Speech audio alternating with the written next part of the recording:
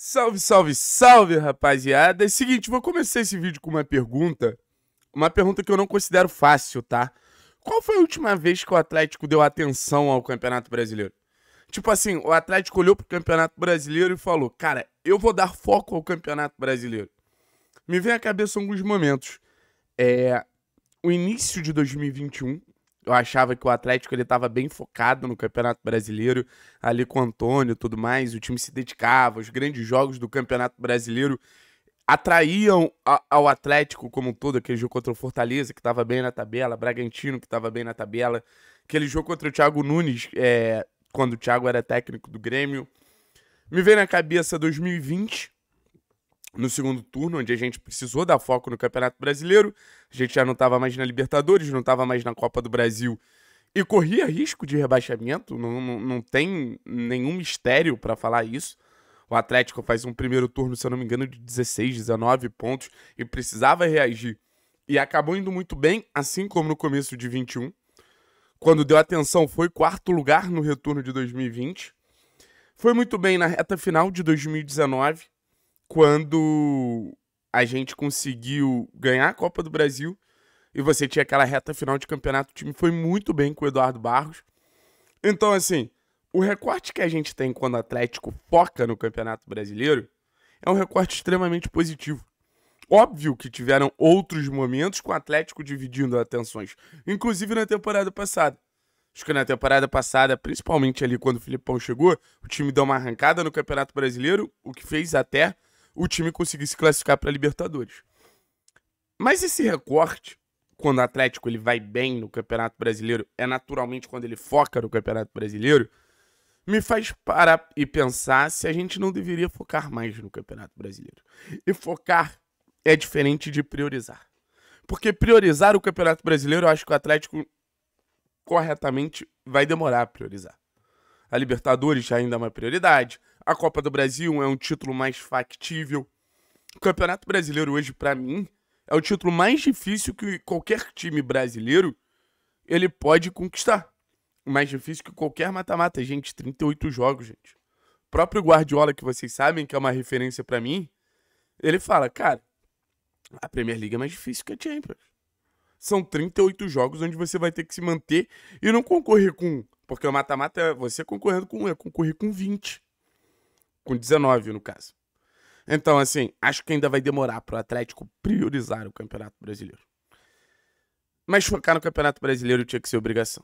Competir no Campeonato Brasileiro tinha que ser obrigação. E eu acho que o Atlético ele vem melhorando nesse sentido. Não acho que, que a gente tenha chegado no ponto ideal. Mas acho que o Atlético ele vem melhorando nesse sentido. Porque, por exemplo, vamos pegar os últimos jogos do Campeonato Brasileiro. Que foi São Paulo, Corinthians e Palmeiras. Cara, a gente conseguiu fazer um bom jogo contra o São Paulo. A gente faz um belíssimo jogo contra o Corinthians. E contra o Palmeiras, beleza. Acho que a gente não foi bem. Mas também a gente não foi péssimo. E acabou conseguindo pontuar. Mas se você pegar um recorte, eu acho que dá para dizer que o Atlético competiu nos três. E eu acho que isso pode ser um efeito Wesley Carvalho. E pode ser um mérito do Wesley, porque querendo ou não, é um desafio pro Wesley. O desafio pro Wesley é fazer o time competir em cada jogo.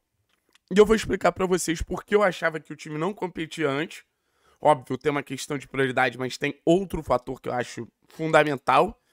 Mas antes eu preciso dar a dica para vocês, porque vocês sabem que esse quadro aqui é pra gente falar sempre algo forte, né? É pra gente trazer uma afirmação forte, uma frase forte, uma teoria forte é, dessa vez é competir no Campeonato Brasileiro é obrigação, mas também é pra gente trazer uma odd forte lá na KTO. Lembre-se sempre de usar o código 3 pontos que você ajuda a gente demais, demais, demais, demais, demais. Dá essa força, a gente tá precisando convencer lá a KTO que a comunidade 3 pontos é uma comunidade forte. Na live, eu vou divulgar o grupo de apostas da, do, do canal 3 pontos pra gente trocar a figurinha de aposta. Então, daqui a pouco tá começando a live, eu vou divulgar. E eu preciso mostrar o odd para vocês, óbvio. Que é essa aqui. Rapaziada, todo mundo sabe o Atlético vai com o time reserva. E vão algumas peças que costumam ser titulares. Entre elas o Christian. Acho que tem chance do Christian acertar um chute ou mais ao gol, bicho. E, e a odd é muito boa. Você triplica o valor que você colocar. Pô, botou 100. Botou o código 3 pontos. 120. É, porque eu te dou 20% de bônus. Aí você bota que o Christian vai acertar um chute a gol. 360, pô. 360, 240 reais de lucro, mano. Dá pra fazer coisa pra cacete. É o que eu falo. A KTO não vai mudar sua vida, mas ela pode facilitar. Então não perde essa oportunidade, vai lá na KTO. E óbvio, aquele ritual de sempre, deixa o like, deixa um comentário aqui no vídeo que me ajuda demais. Agora eu vou explicar porque eu acho que o Atlético não competia. Eu vou tentar explicar mais rapidamente possível, porque eu ainda quero falar sobre essa capacidade de competir com os reservas, né? Eu acho que tem dois motivos. Um, realmente, que, que o Campeonato Brasileiro nunca foi prioridade. E o outro era que faltava conteúdo. Você precisava sempre estar num nível muito grande de exigência para competir. Como assim estar tá num nível muito grande de exigência? Pô, Atlético e, sei lá, Flamengo semifinal de Copa do Brasil. Era um jogo que naturalmente os caras iam correr pra caramba, naturalmente os caras iam se dedicar pra caramba. Isso fazia o Atlético naturalmente competir, porque o Atlético, querendo ou não, estava no limite ali. Mas quando você precisa de um jogo natural, é, você precisa de conteúdo, sabia o que fazia na hora certa e tudo mais, e você não tem aquele ímpeto interno dos jogadores, e é normal, porque existem jogos com níveis de, é, de, de concentração diferente, os caras não sustentavam. Então, assim, essa falta de capacidade de competir, para mim, só mostra o seguinte: o Atlético foi mal treinado por muito tempo. E a gente falou de recortes onde o Atlético foi bem no Campeonato Brasileiro. Com o Autuori, com o Antônio e com Eduardo Barros. Momentos que os treinadores eles conseguiram botar a cara deles no time. Momentos que os treinadores conseguiram botar é, a capacidade de taticamente potencializar os caras. Então acho que isso diz muito sobre as escolhas técnicas do Atlético.